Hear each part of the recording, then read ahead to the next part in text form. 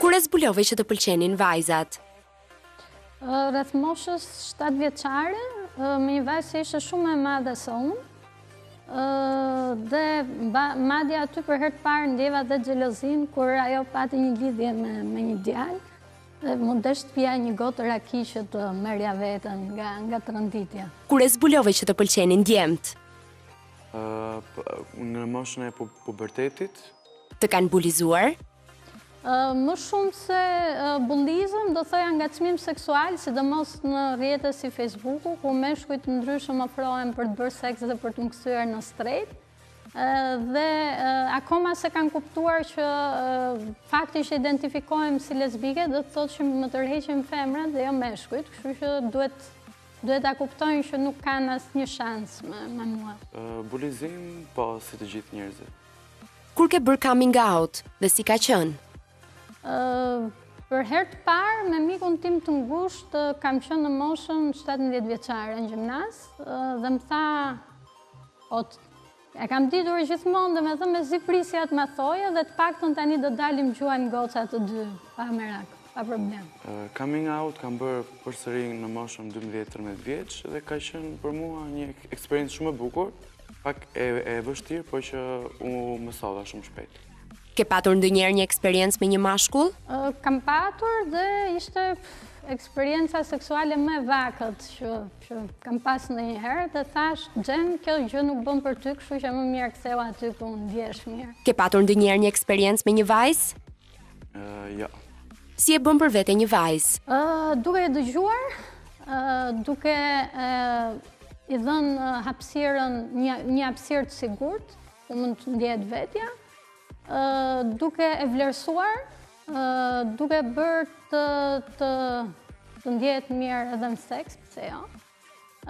Duke, duke e kënaqur gjatë gjithë kohës dhe duke e dashuruar gjatë gjithë kohës, sikur të jetë dita e parë që e kam njohur. Si e bën për vete një mashkull? Atëherë, gjëja e parë është një shikim, një buzëqeshje, dhe vetëm kaq sepse si tipi im, jam kam pak tipin me që emocione mund të them, pak i turpshëm.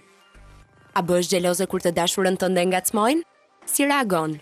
Bëhem dhe nuk ka gjë më të bukur se flirtimi, ëh, si kur më ndodh mua me njerëz të tjerë, kur i ndodh dhe asaj me njerëz të tjerë, kështu që nuk mund të privosh njeriun që do nga kënaqësitë e flirtit. A bëhesh xheloz kur të dashurin tënd e ngacmojnë? Unë nuk kam të dashur, por që kur kam pasur dhe do kem, po bëhem xheloz. E mendon martesën? E mendoj, madje shpresoj shumë që një ditë të kem mundësi ta ta ta arrijmë dhe këtu në Shqipëri dhe të ftoj të gjithë homofobët e mundshëm në martesën time. T'i bëj të kërcejnë. Mm, besoj se po varet. Po të bësh fëmijë? Sigurisht, shpresoj shumë që jo vetëm të bëj fëmijë, po në të ardhmen të kem mundësi dhe të adoptoj fëmijë. Ka gjithmonë fëmijë të cilët braktisen, fëmijë të cilët nuk mund të gjejnë dashurinë dhe ngrohtësinë e një familjeje, kështu që mendoj që ne mund ta bëjmë shumë mirë këtë gjë. Po. Me cilën vajzë të famshme do të pëlqente të darkoje? Puh, kjo është pyetje e vështirë. Shqiptare nuk e di, ndoshta ndonjë politikane tip Mesila Doda. Ndërsa, për sa i përket të huajave, kam shumë, po Angelina Jolie duke qenë se ka qenë një nga aktoret që më ka prishur trurin që në moshë të vogël. Me cilin mashkull të famshëm do të pëlqente të darkoje? Capital T, edhe të huaj, Zayn, nuk e di, ka shumë të tjerë, por që nga të huajt më pëlqen më shumë. Cili është tipari i parë fizik që të tërheq më shumë tek një vajzë? Shikimi, sa më të prapë t'i ketë sytë dhe shikimin dhe sa më të zgjuar, aq më shumë më çmend. Cili është tipari i parë fizik që të tërheq më shumë tek një mashkull? Tipari i parë është fytyra. Cili është vendi më i çuditshëm ku ke bërë dashuri? Mm, njëri nga vendet më të çuditshme ka qenë një kështjellë në në Prizren gjatë Dokufestit. Dhe një tjetër ka qenë një tip kutie reklamash për futjen e Shqipërisë në NATO, kështu që unë do ta kujtoj gjithmonë futjen e Shqipërisë në NATO me me me shumë entuziazëm. Mund të them më shumë në shtëpi, por edhe në ambiente si plazhi apo Frekuenton më shumë njerëz heteroseksualë apo homoseksualë? Mund të them që frekuentoj më shumë njerëz që kanë interesa në çështje sociale dhe luftojnë për drejtësinë sociale dhe njerëz që merren me sporte, kryesisht me sporte ekstreme. Mund të them të dyja palët, por më shumë heteroseksualë. Janë më shumë të paragjykuar lesbiket apo gejtë? Janë dy dinamika të ndryshme diskriminimi, do thoja që meshkujt gay vuajnë më shumë diskriminim fizik, ndërkohë që diskriminimi dhe presioni që vuajnë femrat lesbike është më shumë psikologjik dhe ekonomik. Mm, pak më shumë gejt. Për sa kohë mund të rezistosh pa bërë dashuri? Nuk e di, s'kam provuar asnjëherë të rezistoj pa bërë dashuri, kështu që është një pyetje që ndoshta Kur të plakem, ndoshta, edhe pse është çik diskriminuese për mosha të mëdha, po mendoj që njeriu nuk rresht kurrë së dashuruari.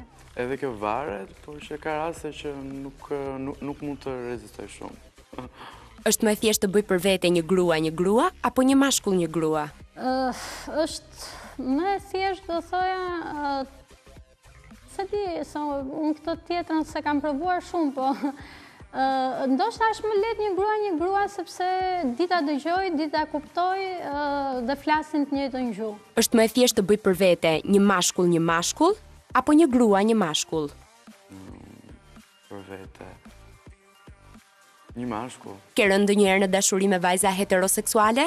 Si ia ke bërë? Në fakt unë gjithmonë kam rënë në dashuri vetëm me vajza që janë identifikuar si heteroseksuale, por që në fund fundit s'kanë qenë dhe aq heteroseksuale derisa kemi përfunduar gjithmonë në shtrat bashkë. Ke rënë ndonjëherë në dashuri me meshkuj heteroseksualë? Me heteroseksual, jo, sepse nuk ka vajtur, domethënë, e kam kuptuar që ka qenë hetero dhe nuk kam vazhduar më tej. Mendon se do të ndryshosh ndonjëherë orientim seksual? Jo, as s'e kam menduar ndonjëherë dhe nuk mendoj që është i mundur, ashtu siç nuk është i mundur që personat heteroseksualë të ndryshojnë orientimin e tyre dhe të kthehen homoseksualë. Jam shumë e lumtur me orientimin tim dhe mendoj që nuk do ta imagjinoja kurrë veten pa dashuruar një femër, domethënë jeta do ishte shumë bosh dhe pa kuptim. Jo, sepse kjo gjë nuk ndryshohet, është e lindur. Çfarë do t'i thoje një heteroseksuali që urren homoseksualët? Do t'i thoja që fillimisht nuk ka njerëz homoseksualë dhe heteroseksualë, sepse mendoj që seksualiteti është shumë fluid dhe mendoj që Në fund të fundit duhet të mësojmë të dashurojmë njëri-tjetrin pavarësisht ndryshimeve tona. Kështu që bëni sa më shumë dashuri dhe sa më pak llafe, thashetheme dhe sa më merruni sa më pak me jetën dhe lumturinë e tjerëve.